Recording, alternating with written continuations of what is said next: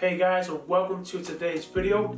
My name is Owen and I'm going to be guiding you through how to set up MQA on Tidal with our iDSD Pro using a new application called mConnect.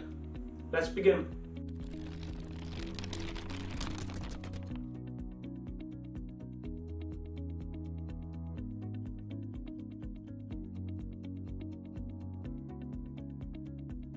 mConnect gives us multiple options to stream music from different sources. What we're going to be focusing on today is Tidal application only. Just like any application, it does come with negatives and positives. I'm going to link them in the description below and let you guys make up your minds which one is better for you. However, there is no harm going to and from different applications for different needs. So first of all, make sure you download and install the application called mConnect. There is multiple versions, but the bottom line is if you have one that is paid for, you have no advertisements.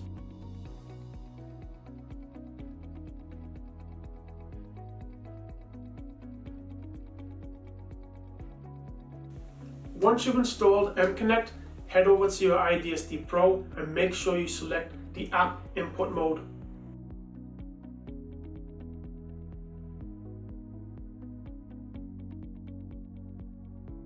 As a disclaimer, there's two cameras. Number one is pointing at me.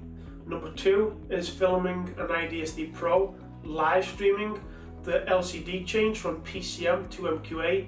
I'll be using a smart device to record the screen and put it on somewhere here and it shows you guys what I'm doing as I go along. Now that the iDSD Pro is connected to your network, we can start using mConnect.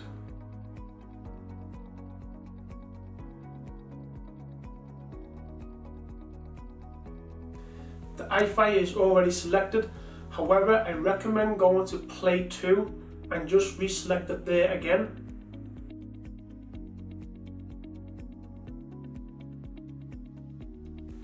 Now that's selected, you can go into Tidal via the browsing option.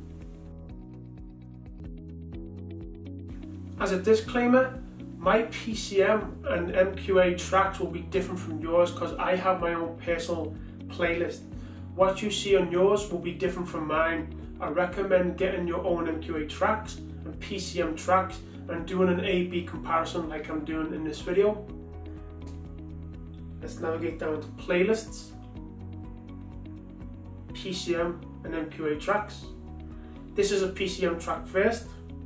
It will register at the top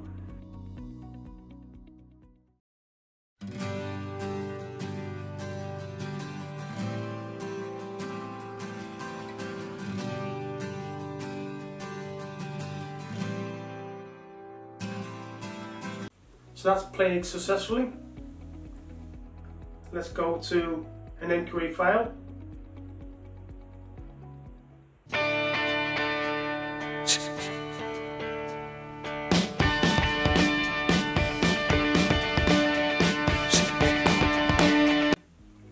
As you can see, that one's perfectly fine too.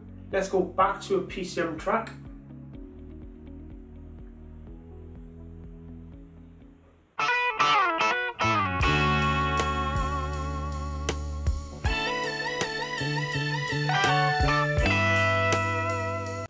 That one is also okay.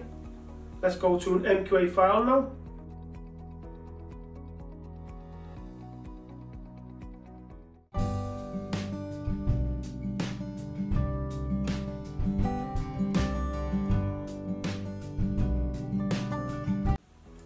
So there you have it, MQA and PCM are working perfectly fine using the mConnect application.